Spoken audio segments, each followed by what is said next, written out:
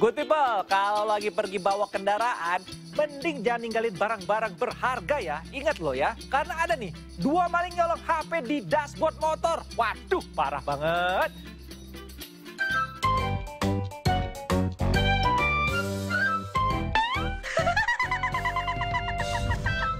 Bro, udah jalan lumayan jauh nih. Capek tahu.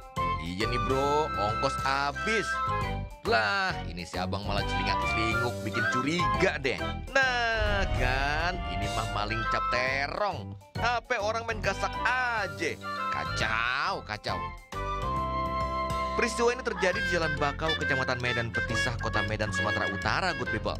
Melihat HP ditinggal di dashboard motor, si abang ini main sikat aja. Padahal ada orang itu ngeliatin. Nekat banget. Waduh, mestinya bantuin nangkep itu orang. Itu kemarin kan di sini motor, motor jadi kawan tuh da- baru datang, handphonenya di dashboard, handphonenya di dashboard. Dia tuh masuk ke dalam bentar, nyari eh, manggil temen juga ceweknya. Pas dia mau masukin kereta, aku suruh masukin kereta kan.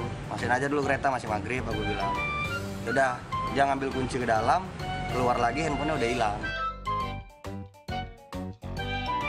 Atas kejadian ini korban berencana laporin kasus pencurian ke Pak Pol nih good people.